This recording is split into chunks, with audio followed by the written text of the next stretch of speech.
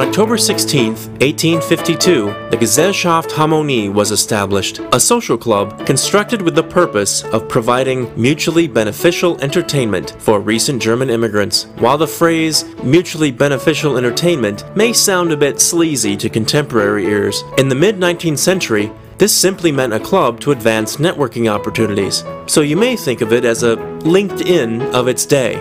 During its first 15 years, the club led a nomadic existence, but in 1867 it settled down at 45 West 42nd Street, using its more permanent location to hold events ranging from lectures to theatrical performances to bowling.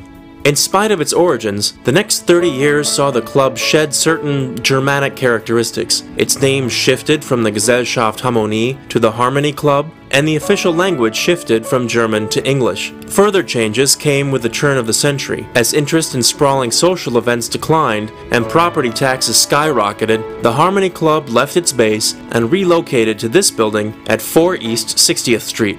Membership fell into the doldrums during the First and Second World Wars due to the club's affiliation with Germany and its members serving in the conflicts. However, clever public relations, like hosting events for enlisted men, helped the club return to pre-war membership levels in both instances. Today, the Harmonie Club remains at 4 East 60th Street, where it continues to regularly host social events.